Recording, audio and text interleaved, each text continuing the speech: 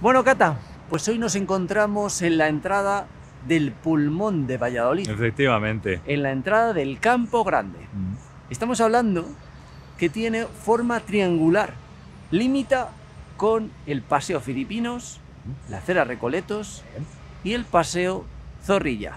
Claro. Como Son- todo el mundo sabe. Casi 12 hectáreas, casi 12 hectáreas, casi nada. Lo que tú no sabes, Hernández, es que aquí en el Campo Grande se situaba el quemadero donde se justiciaba a los herejes después de los autos de fe. Lo cuenta muy bien aquí don Miguel Delibes en su novela El hereje.